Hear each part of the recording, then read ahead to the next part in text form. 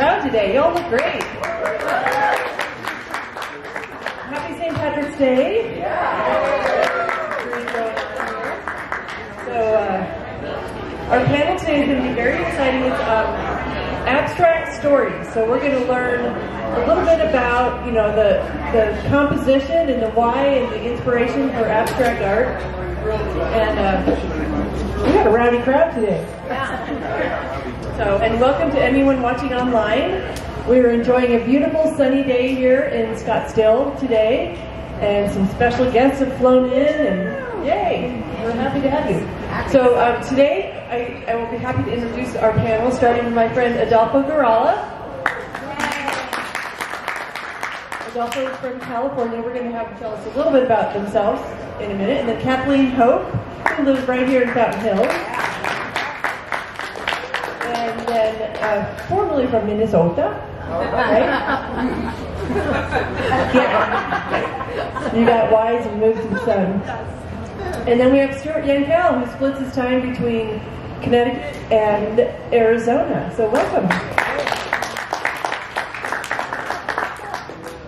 So the abstract stories, we really just kind of wanted to delve into um, trying to explain a little bit maybe about why artists choose abstract over uh, representational and what inspires them. And uh, I think we'll have a good discussion. We talked a little bit this morning at our artist meeting in the morning, and maybe Stuart might share some of that because he posed a question there. But um, I'd like to start by starting with Stuart. Have you tell us a little bit about um, your background as a painter and how this came to be.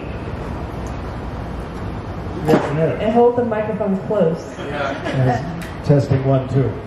So I come uh, into abstract painting maybe from uh, a little bit different direction than uh, some of the other abstract painters. I've been known much more as a figurative painter uh, in my career. Today I have one abstract piece and one of the figurative paintings here.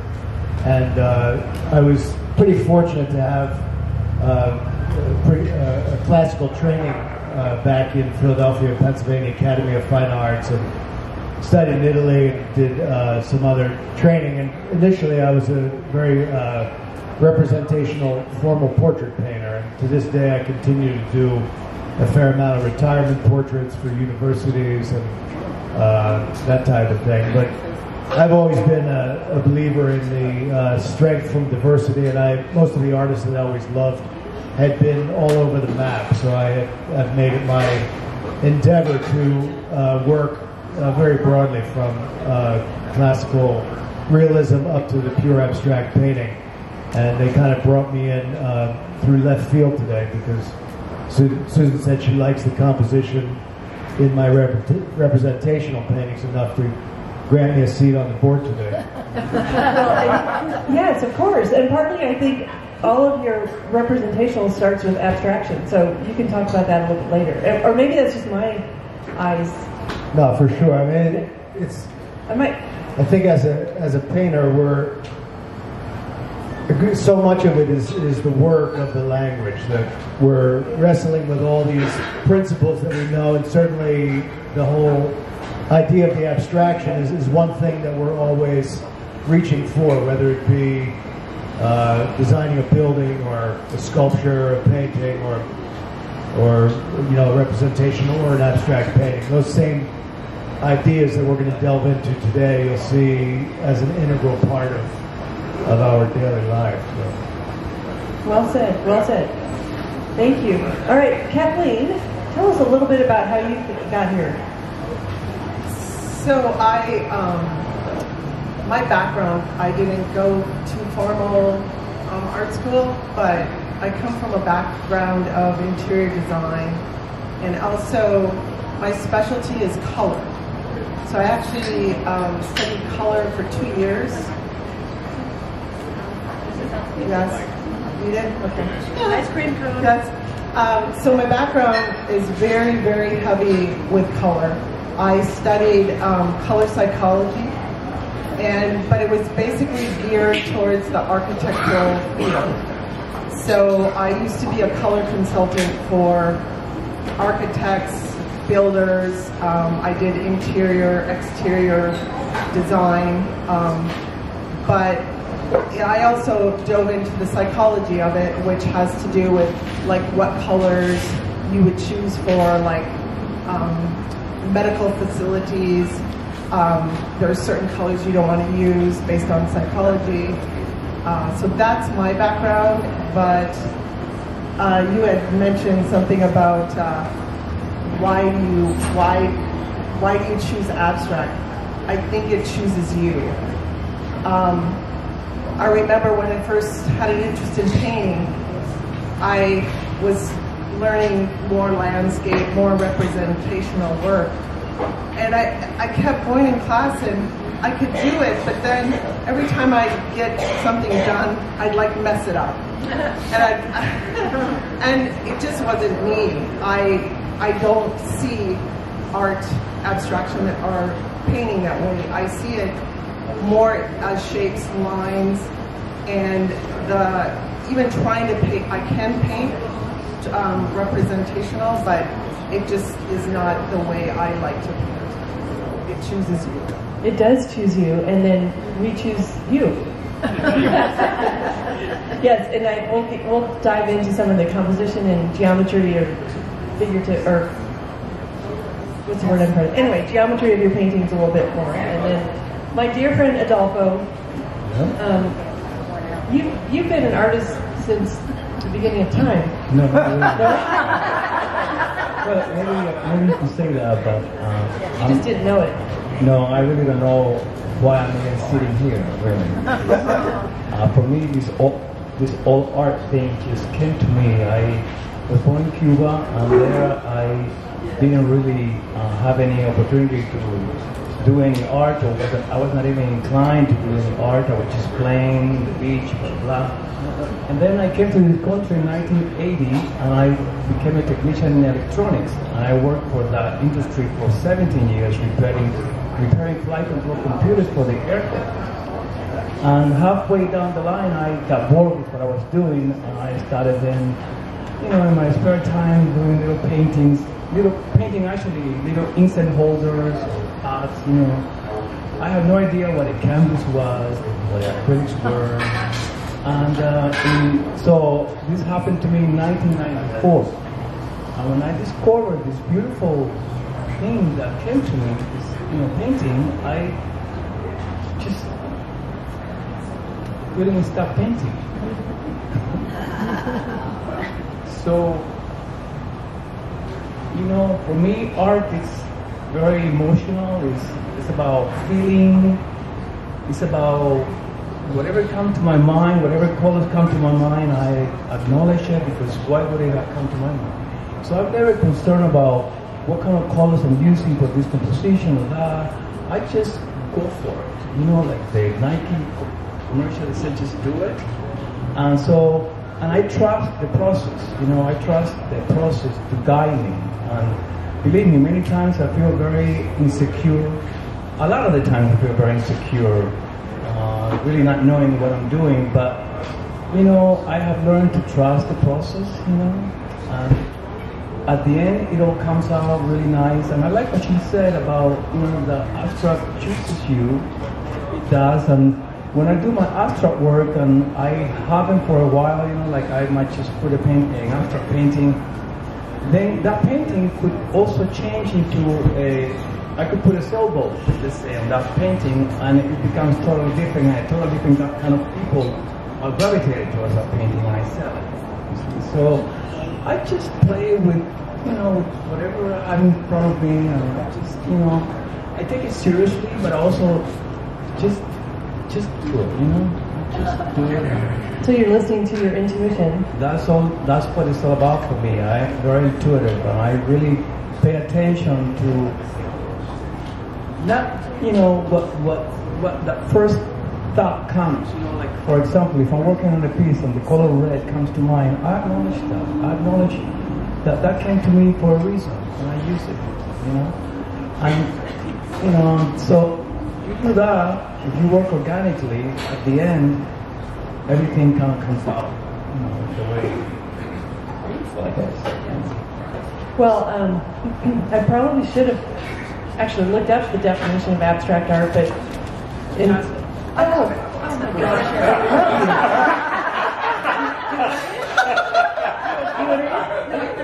Okay, according to the encyclopedia, Because I have to add. I like that you didn't say Google. So this is the encyclopedia. I mean, you had the full edition. Okay, door-to-door salesman. The main purpose of abstraction in art is not to tell a story, but to encourage involvement and imagination. Main objective to provide viewers an intangible and emotional experience being completely different for each individual and mood. Is. Fabulous. Yeah, that's it. And there's the rest of you guys, I will let you read, but but um, a lot of people ask us what we collect, and if you were to walk in our house, we have a wide variety of styles and mediums, and you know we literally love every piece of art that we have because it does connect that emotion and that feeling and you know the literal joy of art and I like the abstract pieces because it does exactly what that definition is. It lets your mind interpret what, what it means to you, and there is absolutely deep emotion, um, just as much as if you looked at a portrait with you know a, beautiful face with, filled with emotion. That the, the way that these artists capture the the color and the composition and just the order in which you put it on your canvas. Um, so I hope you all feel the same way, or, or if you don't, maybe after today you will. But um, it really does evoke that emotion. So tell us what it means to you. I know. Right in the. Are we good? with the- Are we, okay, yes, okay. So the reason, actually, I, I wrote the definition down, not for Susan, but I. Thank you, I appreciate it. Um, because in general, I agree with that, but one of the things that they said in the dictionary was that abstraction in art is not to tell a story. Um, I don't agree with that because I think that many, many times, um, if you're very in tune with color, line, um, your emotions, when you create an abstract piece of art, there are many times when people will kind of get your message. And I'm just going to give you an example of something that happened actually here. So I had been to Berlin and I had taken all these photos of graffiti. And when I came back home, I created this uh, these totems of graffiti. And this woman comes right up to him and she says, "Oh my gosh, I just I love these. I have to have these." And she said, and I didn't say anything about them at all. I just was listening to what she said. And she said, "You know, I think my husband will really like these too. You know, he's from Berlin." Oh, wow. Yeah. And um, I said, oh, that's interesting. I said, um, I was just in Berlin, and th- this is where these photos, I mean, the graffiti could have been anywhere, you know. And so I showed her all the pictures of the graffiti in Berlin, and she's, she bought them right. She's like, I can't believe this, this. I remember that. Yeah, and then one other, there's been many, many stories like that. There was one time I was in New York, and I had just gotten back from uh, Oslo, and I went to this fabulous museum. It was called the uh, uh, Vigeland Museum, and the sculptures there were all nudes, all figuratives. They were absolutely mind-blowing, stunningly beautiful. And I came back and I said, how am I going to abstract these figures into a painting? And so um, I just did this real white version of entangled kind of forms. And when I was in New York, this this woman comes up to me and she said, um, "Well, I really, really love this painting. It has such a a stark feeling to it, like like Norway."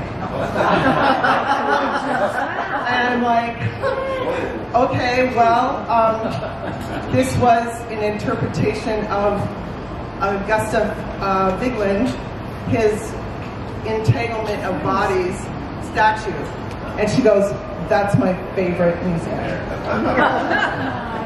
Wow. Yeah. Yeah. And there's many other stories like that. So, so I really do think in abstraction, if you're very in tune with line, your emotions, when you put that down, somebody's going to connect to it. They may not understand it and they may not voice it, but but somebody will connect with it.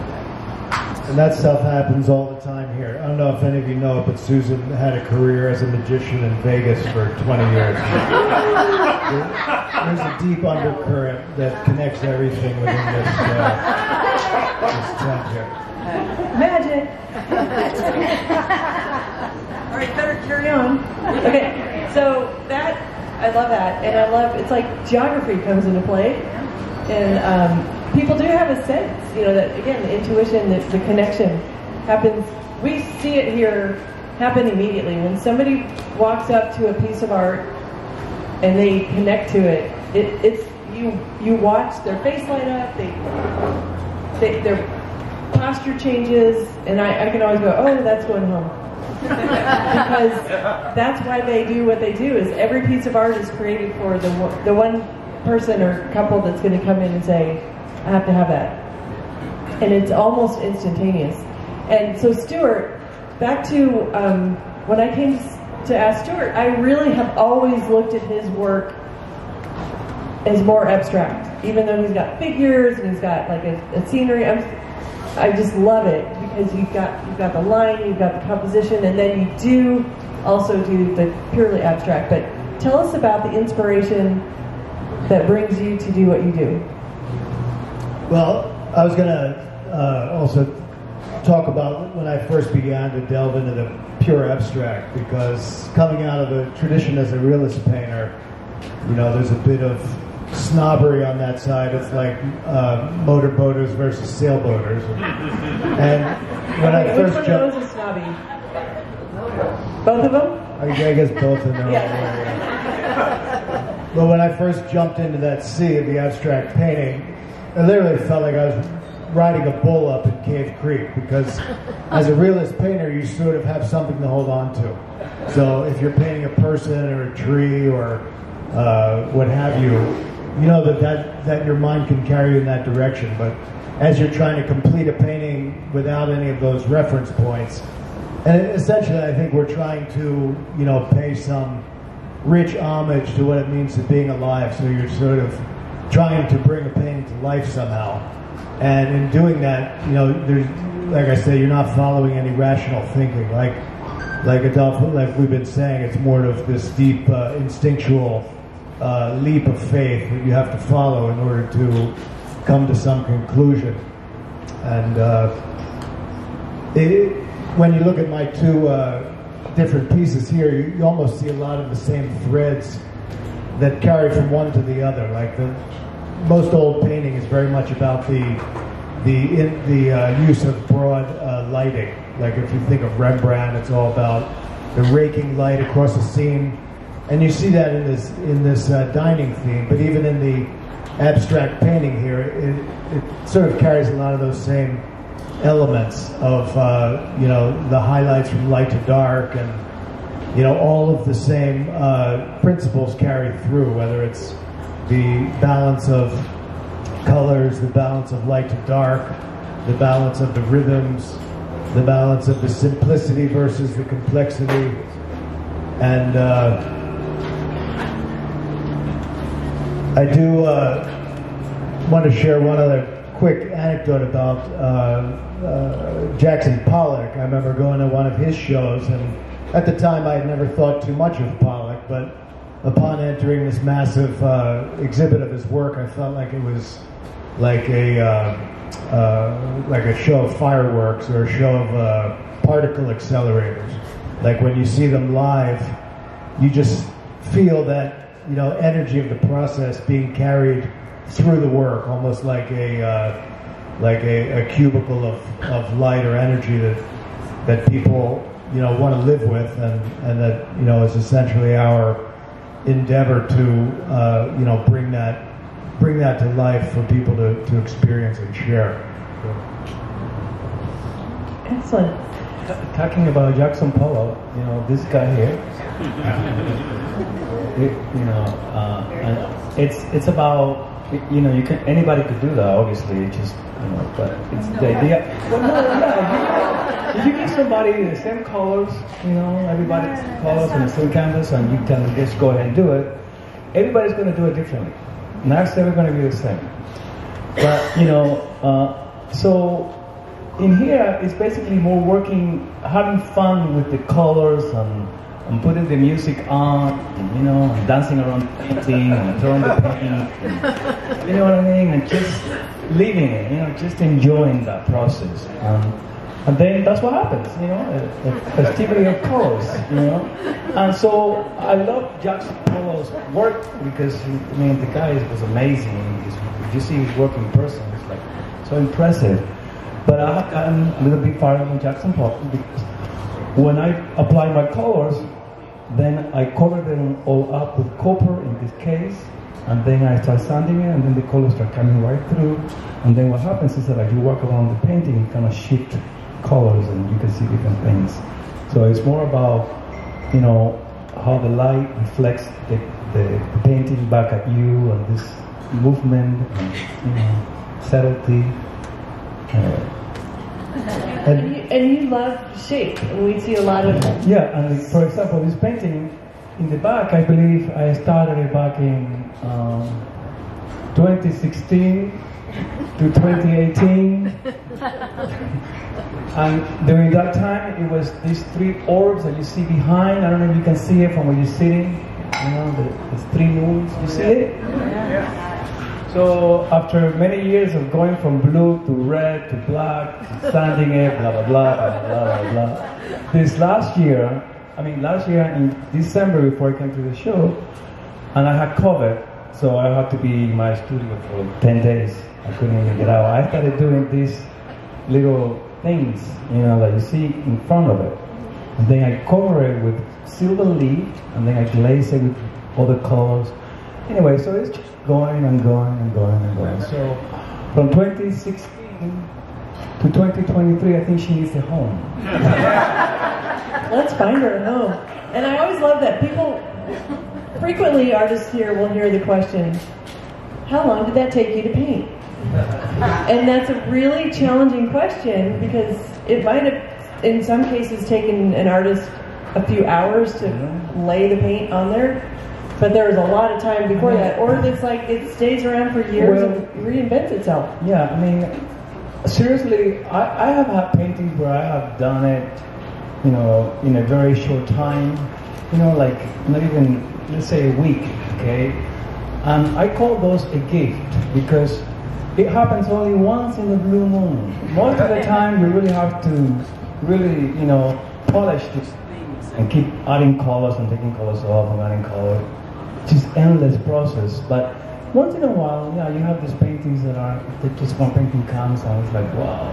And so that's a gift that you stop, you know. And then people ask me, when do you know when you know your painting is finished? Well, I know when it's finished when I have the painting on the wall a long time I'm walking around my life and it doesn't bother me. But one day, I might just walk into a room, into the room, and the same painting tells me I want like a red, a blaze of red. Say, for example, this one here. Today, I mean, this painting was showing here, and the background was completely black. And today, last night, I thought, you know, I should do this. I should just put this copper and then do the sanding. So it just happened today, you know. So, it, you know, God knows tomorrow it'll be red. I like the copper. I'm saying, yeah. What do you think? Copper? Yeah. yeah. Very good. So this morning's kind of our discussion was a little bit about. Uh, well, I'll let you. I'll let you talk about that in a minute, Stuart. But I'm going to go back to Kathleen because one of the great things. There's many great things about your work. It's we see layers, we see color, we see texture, we see composition, and they each they each tell a story, even though sometimes the story can be up to us, but you have a story. Um, Okay, I was told to talk louder. I have a soft voice. So, um, so there's a painting term uh, that abstract artists use, um, figurative artists use. Basically, it's called. Sometimes when you look at a painting, you say, "Oh, that's a little thin." Um, what that means is that a painting isn't developed. You feel no soul. And I think that when you look at Adolfo's work, you look at Stuart's, mine, most, I would say everybody in the tent, they're, these people, these artists have spent years and years developing their, their art. And you feel that soul. It's not thin. And I think that that's what every artist kind of strives to have in their art is just a soul. And that comes from not just putting your energy into it, but it's also, it's more about just mastering your, and being comfortable with your medium. And, and you, right away, you know, you start, when you first start a medium, you don't, it's kind of like there's so many mediums to choose from. So when you first start in art, there's just so many choices that you don't even have time to really hone in and become a, a good artist because you're just experimenting. But once you found, find your medium, it's, it's like a, a good marriage. It's, it's like your voice can be expressed. And I feel like with my work, you know, for 15 years I just experimented with different products and nothing really, every, everything I tried was just not right. And I knew it, but that my voice wasn't being heard until I found cement. Yeah, you were So. still successful with those other mediums, but this, Yes. like, I love your card say fluent in cement. Yes. That's because I wish I could speak some languages, but I don't. I could just do cement.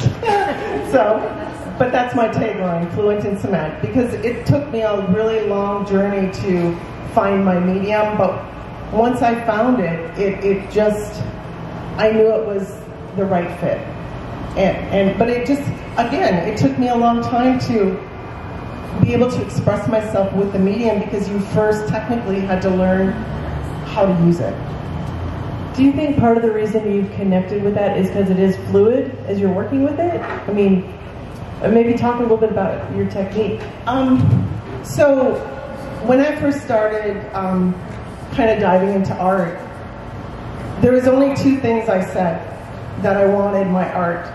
I wanted to be in contemporary modern homes, and I wanted texture, and I wanted it to be organic and contemporary at the same time.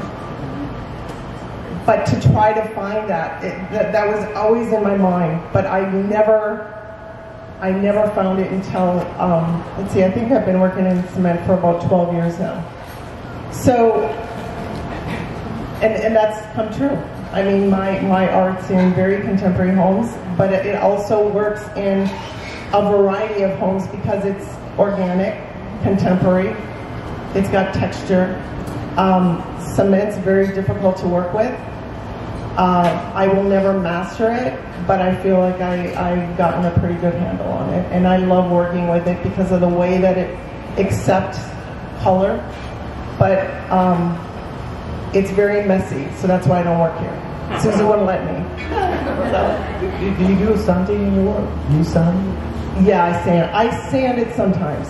Yeah. Mostly it's pouring. Yeah. Do You jackhammer too? And do you do you do you mix the pigment into the cement, or do you apply the cement and then paint on it? It's a combination of both. So I, mi- I mix like liquid tint into the wet cement. Um, and then I also paint over it with like inks, stains, acrylics. Um, it doesn't work with oil. I'm allergic to it anyway. Um, so, but yeah, that's basically my, my pigments. Uh, And is this a regular cement? Um, Um, it's a really fine grit cement. and it's it's I make my own mixes. So I always have to work in my studio because it's very controlled, and and, and I have some somewhat control over the patinas that I do on, on the cement. And your work can be um, enjoyed indoors or outdoors. Yes, I I do do outdoor work. Um, basically, I have a few pieces in the front that are for outdoors, and that's a little different process because it's on a um, cement board and it's framed in a steel frame, and I use concrete stains and concrete sealers meant for driveways. So, so actually, it really does hold up um, in our weather. But I usually take commissions for my outdoor work because I um, it's too most of my work that I do in my gallery is all on wood panel and I have 10 galleries I show in as well and I just don't have the time to create the outdoor inventory so most my work that I do for indoor can be done outdoor so I, that's why I take commissions. Very good. All right, um, so Stuart, can you kind of expound on what we talked about this morning about your question about abstract versus uh, representational and how they how they what Susie talked about or Roxy. That was a long time ago. That ago. was like hours ago. Uh, yeah, I think you know most most painters being steeped in this language for you know whatever decades are, are pretty well aware that these two languages are two sides of the same coin. That abstraction and realism are are you know they say the whole is greater than the sum of the parts, and anyone working in either of those directions is is uh, uh, enlightened by you know what they have from the other side. But before we leave Pollock, um, one he probably had one of the greatest lines in the history of art when they said uh, because we have to understand what a magnanimous change it was in the 20th century when abstract art uh, you know was born. Um, that they said, Jackson, why don't you paint from nature? Because before that, every, everyone was essentially painting nature. And he said, I am nature. And uh, Good answer. yeah, I mean that that's kind of the idea is that that uh, you know we are in fact part of nature, and so so much of uh, uh, like I said, the 20th century sort of breaking open the language of art and allowing artists to just set that set the uh, the representational aspect aside and just explore the freedom of how to you know complete an entire painting solely on the merits of its uh, abstract qualities, on its colors, principles, and you know we do hear that question: How do we know when a painting is done? Uh, like Ad- Adolfo said, I, I often reference like Tolstoy with War and Peace because until, until we come to peace with that painting, it's just going to annoy the living hell out of us. Everyone thinks that you know it's so pleasant to play with the pretty colors all day, but when I'm in the studio, I sound a little more like Nadal, and uh, uh, gets a little more verbal out there. But uh, yeah. That's very good. No, it's true though. It take it, it does take time and a lot of people not so much here because we have a very well educated uh, group that comes here, but we've been in places where people think, oh, anybody could paint that. Well, it's not true. We can't. Most of us can't. And there is a lot of thought that goes into abstract art. And I was talking to Robin Branham, who refuses to do a panel, even though she should. But um, she, you know, she's second generation, and now Colin's third generation um, artist. Her father was an abstract painter as well. And there's so much thought that goes into it. It's not just throwing, even Pollock, who has been criticized by some, but he didn't just throw paint at a canvas. There was a there was a thought out process, and um, it really does have to work all together, or you're just going to have a messy mud pie. So It'll become gray. they they become gray and unattractive to no, most of soul, it. no soul. No, no soul in that one. And, And- as, and sometimes it's it's simply the material or the technique. You know, with Pollock, you know, simply that act of throwing paint, you know, which seems so, you know, rudimentary or childlike, it just kind of opened a whole branch in the language. It's like Gerhard Richter, many of you may know that one of the top selling painters in the world is German abstract painter, who essentially uses these long flat spatulas to drag paint across the canvas. And again, it sounds, you know, almost uh, rudimentary, but he's created like a vast language of, you know, his own uh, effects. And in fact, hundreds of thousands of people that have kind of followed in his footsteps to, you know, uh, to build upon that simple idea, you know. And, uh, Is there any um, artist from history that has in, inspired and in, in Oh yeah, uh, what's his name? Uh, it's got, he, I forgot his name now, but he's got he does a painting with the different colors, um, red. Roscoe. Rothko. yeah. Roscoe? The guy that does paintings with different colors, that's Rothko. Roscoe. Yeah, or Mondrian, Mondrian. yeah his, his work is just amazing. I, I, wa- I had the opportunity to go and see his work in person, and uh, it was incredible. Uh, but one thing about his work that I found out is that he didn't really care what materials he used in order to achieve the colors that he wanted. You know, so he would use can you know paint from his house, whatever. So because of that, uh, a lot of his work is actually now um, deteriorating, and it's really hard to put it back together. And he had a really bad ending too. I don't know if you know about his life, but at the end, um, uh, gallery didn't want to give him back his 50 or 80 paintings, and he actually got very depressed and killed himself. Which I would never do because, you know, I mean, after all, Because we need you. well, okay, well, let, let's, let's not talk about that. but yeah, that, he, did, he was amazing, amazing guy. Kathleen? I, I think there's a lot of artists that uh, I'm inspired by, but one of them isn't really well known. Um, he kind of hung around that whole New York group, um, Conrad Marca-Relli. And I remember uh, at the time I was living in Minneapolis, and I really didn't know much about art, but I remember going to the museum and he had this one painting, it was just huge, it was called The Trial. And I must have sat in front of that painting and just, it was kind of like a light bulb moment for me. It's like, I want to do that. And his paintings are all about shapes. They're just shapes and minimal color. But the way he used his shapes, I'm surprised he wasn't, I mean, he's, he's well known, but he, he, he definitely was one of the better, better artists with, like he hung around uh, de Kooning and um, he was in New York that whole time. So I, I think I, I just liked his movement and his shapes and lines in, in, his, in his art. And was did he use a lot of color as well, or was he it more the movement? Some, he used some color, um, but it was very it was very minimal, very minimal color. I mean, I I think that you know being a color being a colorist, I'm very very good with color, but sometimes I really just like using minimal color, black and white, um, and it's just the simplicity of it, you know, that um,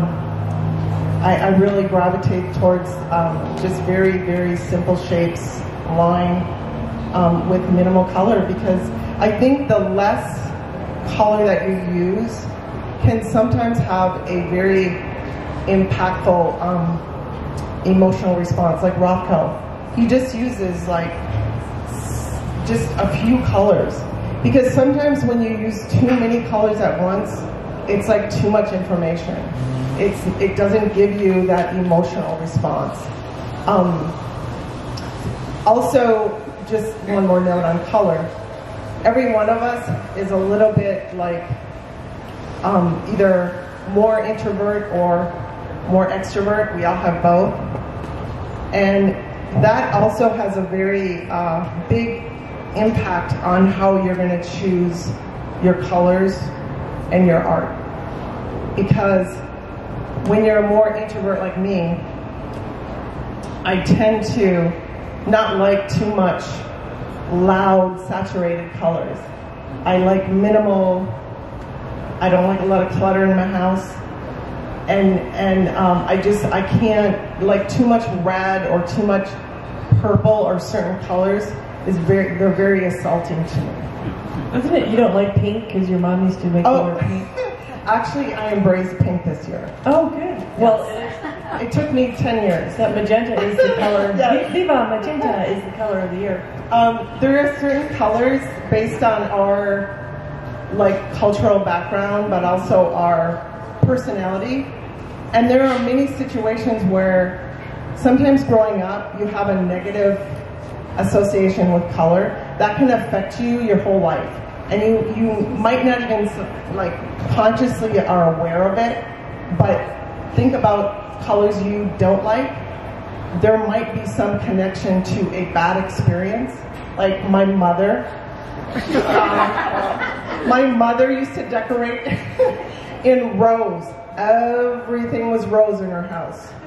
And to this day, I cannot paint with rose because I had to live in that color that I hated. She had rose carpet, rose walls. and so everybody has some sort of negative and positive association with color. Childhood trauma. yeah, it's Yeah. like trauma. so um, I, I think that I always say uh, sometimes with art, like some people are a little bit more Las Vegas and some people are Sedona. And I'm definitely more Sedona. So. Good, good, well said. Yeah.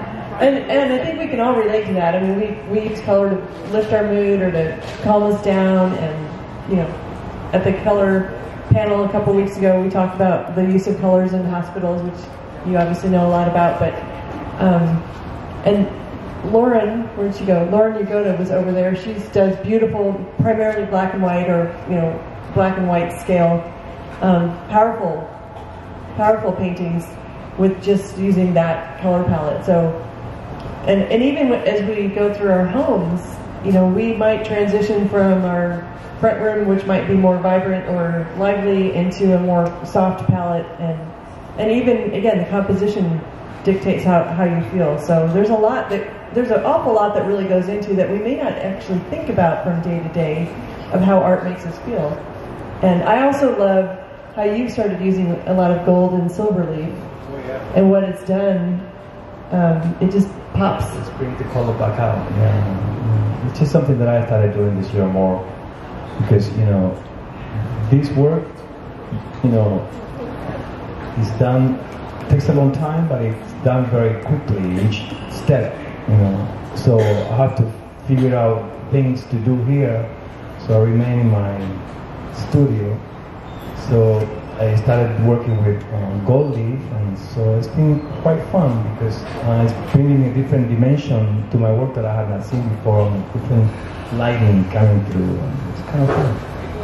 It Yeah. glows, yeah. And um, you do a lot of, many of your paintings will have fish, yeah. and um, I have a couple of, several other pieces, but there's one that's all fish going one direction except One is doing. Yeah. So, you know, as always, we're going to invite you to go look at their studios. And the other thing, I talked before about going around and looking at different artists' palettes, and that their palettes and the way they arrange it can tell you a lot about the person. But also, just stand back once in a while and watch from afar to see. I mean, you get into your painting Oh yeah.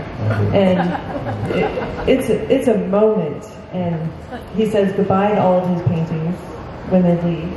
Yes, I do. Yes, Well, when, when I'm painting, I'm actually, actually painting for me has been a salvation because I, it's a place where I actually go and I can actually be in the moment. You know, it's just, I'm there, and you know, just there, and it's just like a prayer. And, uh, and then when I'm not painting, then life comes back to me and all the problems, everything I have to do. But yeah, but when I'm actually painting, it's really very quiet time.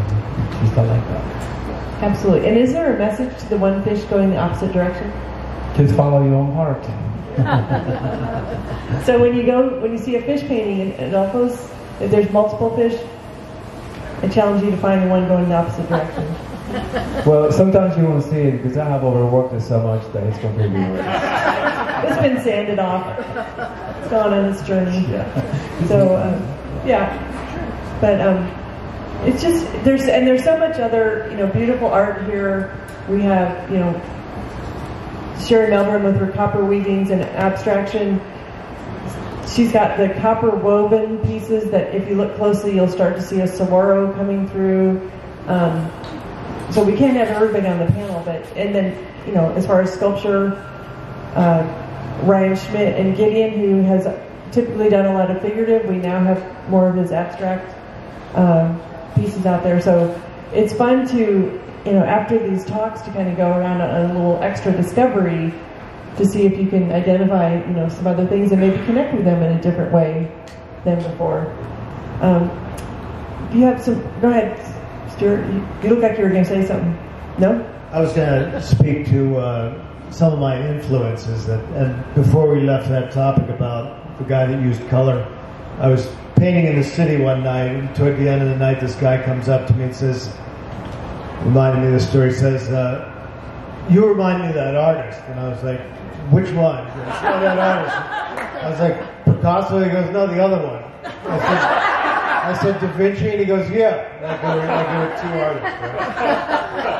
Right? But in terms of, uh, you know, this year in particular, I just wanted to share this uh, this uh, treasure that fell into our life. I've been particularly inspired by the Mount Rushmore artist Gutzon Borglum because uh, this show has the ability to make uh, dreams come true for a lot of artists. And uh, the family that runs this show is, uh, has changed uh, a multitude of artists' lives in extraordinary ways. And we, we uh, it was about a year ago today, my daughter uh, was Zillow surfing and uh, found this property outside New York in Connecticut that was the original stone studio built by the Mount Rushmore sculptor.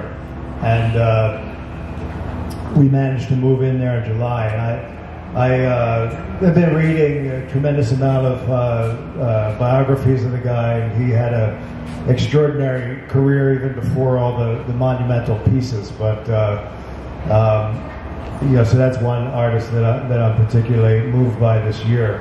And I know that Susan's always talking about uh, reaching for the stars and has inspired so many artists. And when Borglum went down to Stone Mountain to, uh, before he did Rushmore, he did a huge mountain in Georgia, and there was a Civil War monument, and uh, they said to him, Gutzon, we want you to do like a 20 foot Robert E. Lee. And he said, well, actually, I'm going to do like 60 figures and 80 horses. And they said, oh, you want the whole mountain? He said, I want the sky too. You know, so it's like that kind of limitless uh, uh, reach. But uh, and it, uh, some of my other biggest influences would be someone like uh, Chuck Close, who I think we've talked about, that really epitomizes that fusion of abstract and realism, where you come on close to his work and it just disappears into raw strokes of color and paint. And my uh, figurative work really tries to use that same principle of raw language like that. And one more quick note about the technique that I'm using here. I'm painting on this uh, quarter inch uh, clear acrylic surface. I'm actually painting on the back and the front side of this uh, clear acrylic panel. So if you have a chance to look at that after the show, you can sort of see it brings that luminosity and depth. And, you know, in some ways, you know, as something that I've tried to kind of branch out, uh, you know, my own language just by the, the material and, and technique approach. So. I, I have always found your figurative paintings very spiritual because uh, I see the, the, the images, you know, the, the people there, but but they're there, but they're not there. You know, it's like it, it reminds me of, of life, how everything is changing and moving so quickly that you see a bird there and then you go back and look at it again and it's gone already. Did I see that bird? So your paintings always strike me as something very spiritual and like soul-like somehow. You know? Thank you very much. It's funny that people. I think you're not the only one. Yeah. Yeah. People that have the association to uh, figure painting as like older European painting, I hear all the time like these paintings look like the Last Supper, yeah. and I usually say it's the Last Call.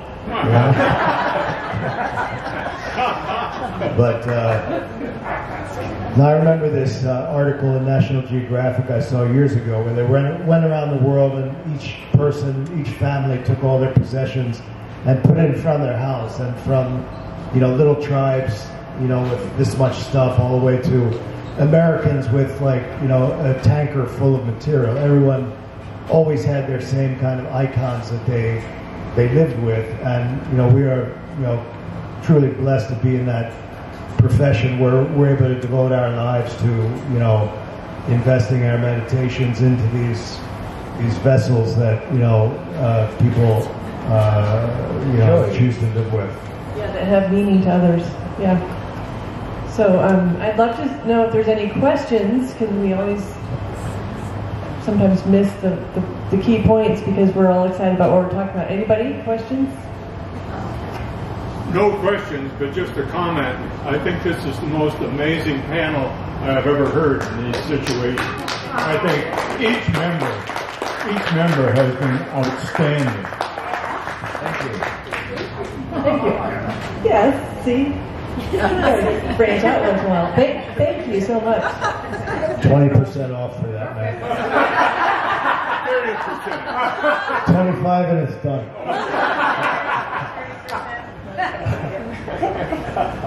this is for Adolfo. Uh, Where? right here. Where? Right, right, right here. Hey. Oh, okay. Hi. Hi. Hi, Kathy. So I was wondering if you could speak a little bit about your massive blue piece that turned into being the where you have. Well, I mean, we could bring it really quick because it would be difficult to speak without it. Can, can Yeah, I'll, I'll do it. Okay, one second. Does anybody have another question while he runs? After this commercial break. Jake, Jake, well, Adolfo's already there, honey. Um, yeah, great. But okay, yeah, there's always great stories, and that's why we love this so much. Because um, as much as you guys love learning about the artists, the artists are so inspired by you, and you know, there's it's a collective, a collaboration that sometimes we don't even think about. But every painting that's done, whether here or at your studio, has a little piece of everybody in it. Yesterday. Yeah, yeah, yeah. Oh, okay. Yesterday. There I go mechanically. no, Michael always laughs at me because I am so not mechanical at all. Don't put a tool in my hand. um, yesterday was so funny. I I had uh, a regular collector come. She hadn't been here for a couple years uh, since COVID, and I and I do these small little studies. They're eight by eight, and she came up to him. She goes, "I need this painting," and it was just this little orange painting with like two blobs of oh white. And she said, "I have to have this because there's snowman." Oh, I'm like, I'm like snowman. Okay, there's snowman. So everybody sees something different, but I could kind of relate to what she was saying because she came from the Midwest like me. So she's like, I need a little snowman in my house. I call it snowman on orange. Yeah. And you have a cool touch with the series too. But okay, let's. Uh, anyway, so you asked, so what's my quality? But so when I started working on this piece, what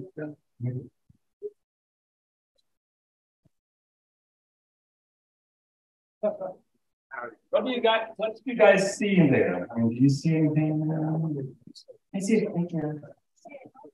Put it up on the chair.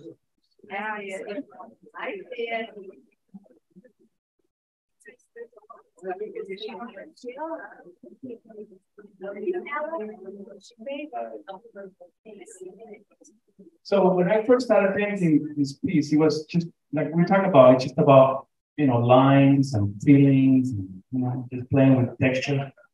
And then when I looked at it, I thought, oh my God, there's a baby elephant uh, here. I think that her mom, then you know, your mind keeps imagining things, of course, and then you see the mom behind. And then there's a little child that, when the light hits just right, you can see him yeah. right around.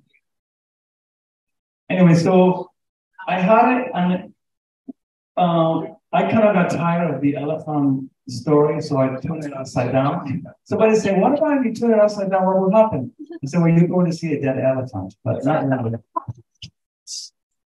You're serious.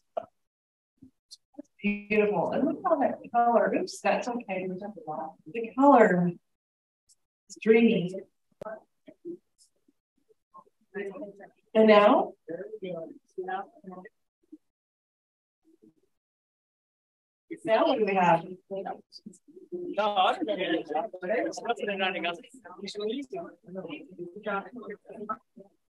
My first Vanna White experience here. Wow. So, so as you can see, when you know, in abstract could, you know, speak many different things. So if you ever, if you have an abstract at home and you want to turn it upside down, you might actually see another painting and then see it down. So, um, so what? Uh, are you satisfied with it? Yes. No. The first time I saw that, I didn't see the elephant. Oh. First time I didn't see the elephant, and then the second time I walked by, I said, "Oh my gosh, there's an elephant!" Well, that's the fun of abstract art. It's like multiple paintings in one.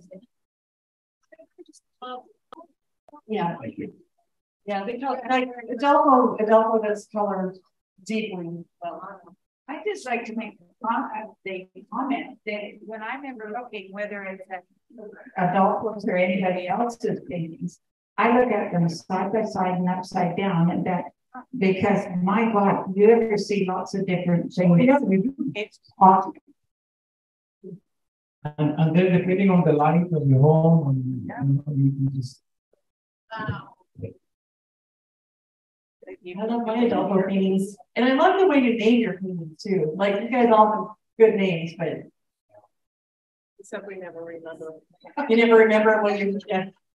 Never. I always try to name them well, but then people will like say, Oh, you know the name of that painting I liked last year? I'm like, I have no idea.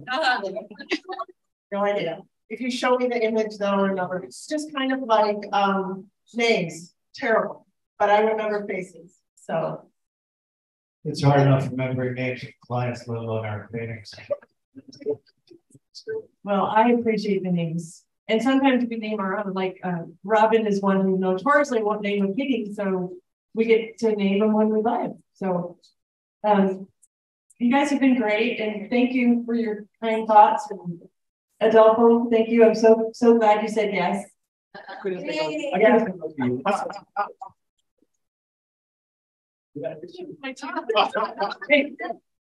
if I have a chip here next week, you'll know. Adolfo, I adore you. And Kathleen, thank you so much. And Stuart, you guys are amazing. Adolfo is in the front row. Uh, Kathleen is about halfway, not quite halfway down on the south side, and Stuart's down toward the end. You've got to keep him back in the corner on the north side. So please enjoy, ask questions if you like. And next week is um, um, all about art and family. We have our generational artists our Matt and Greg Sievers, artistic Greg and Matt Sievers. And the, the magnetic couple is uh, Sunday and Brad Rupert. So come back for that. Thank you so much.